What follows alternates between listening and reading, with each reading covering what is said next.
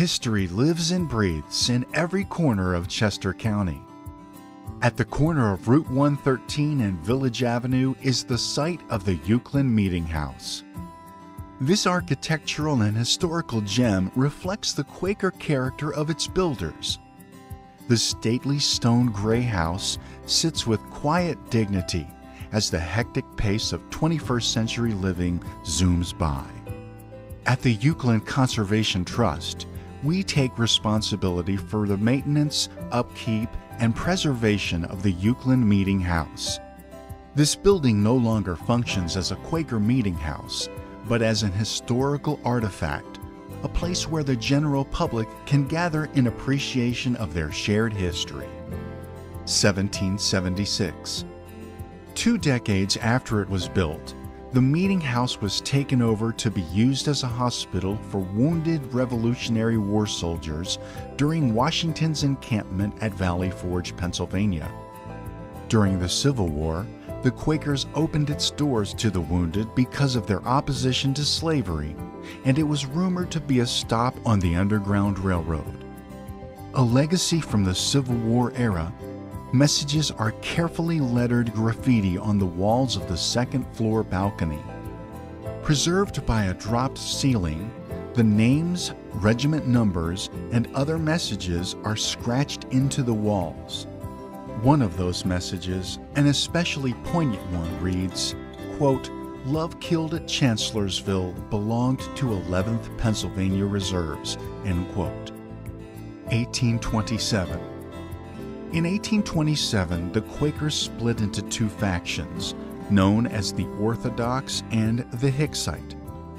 The meeting house was literally split down the center with a wooden partition, the very real symbol of dogmatic differences. The partition still exists today, although the panels have been raised. The Quakers rented the house to the Uwchlan Township School Board in 1904 and it remained an active schoolhouse until the early 1960s. 1920. In 1920, the meeting house was sold to the Uwchlan Grange patrons of husbandry, with the Quakers retaining possession of the cemetery grounds behind the building. The small white headstones bear the names of those who died in the 18th and 19th centuries, as well as unmarked graves of soldiers who died during the Revolutionary War. 1963 In 1963, the historic Uwchlan Meeting House was purchased by the Woman's Community Club of Uwchlan, and renovations were begun. In 1973, through their efforts, the building was placed on the National Register of Historic Places. Three years later, the meeting house was sold to the Uwchlan Conservation Trust, Incorporated, a 501c3 nonprofit organization which owns the building and its grounds. Major improvements included replacing the shingle roof along and repairing the cornices.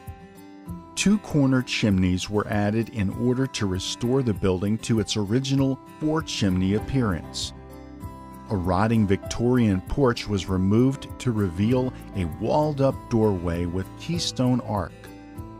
An enclosed porch was turned into a modern kitchen in order to support catering for rental parties like bridal showers and birthday parties. The old shed is now the powder room, and the original bathroom, which still has the indentations in the wall for candles, has been turned into a storage area. Today, Today, the meeting house is open for tours the first Sunday of the month from April until November.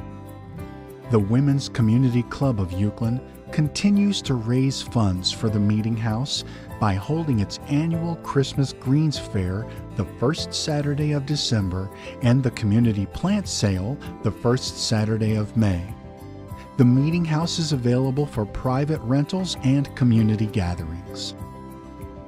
The goal of the Uwchlan Conservation Trust, Inc. is to further its outreach efforts to new generations and raise funds to continue to preserve an environmentally fragile building rich in local history. We need your help.